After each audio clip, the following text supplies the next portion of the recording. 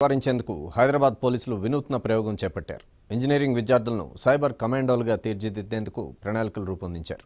ఇందులో భాగంగా cyber smart పేరుతో ఆరు రోజుల పాటు ఇంటర్న్షిప్ ప్రోగ్రాంను ప్రారంభించారు సిపి అంజనీ కుమార్. సోమవారం నుంచి శనివారం వరకు జరగనున్న ఈ ప్రోగ్రాంలో సైబర్ సెక్యూరిటీ నిపుణులు రక్షిత్ టండన్తో పాటు వివిధ ఐటీ కంపెనీలకు చెందిన సైబర్ నిపుణులు ట్రైనింగ్ ఇవ్వనున్నారు.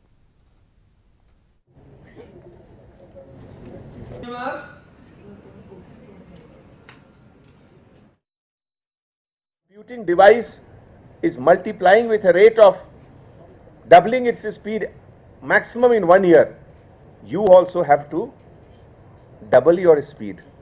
Otherwise, you will lag behind. You will absolutely lag behind.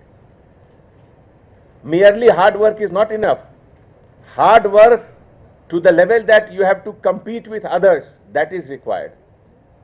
Running at the speed when at the speed at which others are running is required. And that is why this is one of the small initiative from Hyderabad City Police to